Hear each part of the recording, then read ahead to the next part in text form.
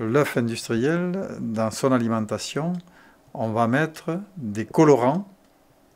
Des colorants. Alors parfois, ils peuvent être d'ailleurs, euh, ça peut être parfois des colorants naturels, mais enfin, euh, généralement, ce sont des colorants chimiques qui ont une efficacité redoutable euh, et qui, qui va faire que l'œuf va avoir un jaune très foncé.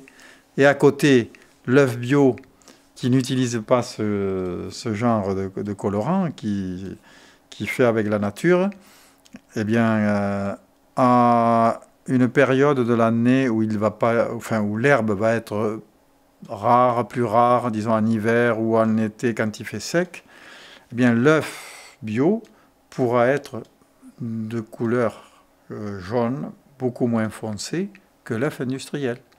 Donc voilà, ça c'est une information que le consommateur devrait connaître